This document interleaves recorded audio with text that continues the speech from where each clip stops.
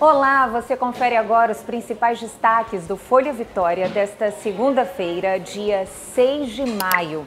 Os nomes dos selecionados no programa CNH Social 2024 foram divulgados nesta segunda-feira, dia 6, e eles podem ser conferidos no site do Departamento Estadual de Trânsito aqui do Espírito Santo, o detran.es.gov.br. Ao todo, mais de 76 mil capixabas se inscreveram, viu, para poder concorrer às 3.500 vagas.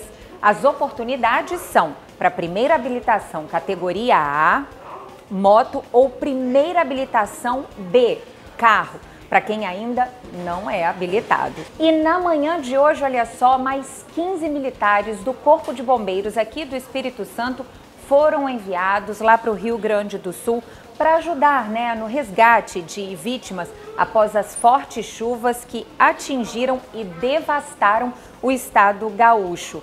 Esse já é o segundo grupo, viu, que vai lá para o sul do país. No domingo, dia 5, 11 militares e dois cães de busca, Brisa e Fênix, chegaram a Porto Alegre. Também foram enviadas, olha só, duas caminhonetes, um micro-ônibus e um caminhão e um reboque para o transporte né, desses cães. E atenção, termina na próxima quarta-feira, dia 8, o prazo para os eleitores emitirem, regularizarem o título de eleitor ou mudar aí o local de votação também para as eleições de 2024, quando serão eleitos prefeitos e vereadores. Para atender a demanda da população, preste atenção. Os cartórios eleitorais aqui do estado funcionam com horário estendido. Para mais informações, www.folhavitoria.com.br. Tchau!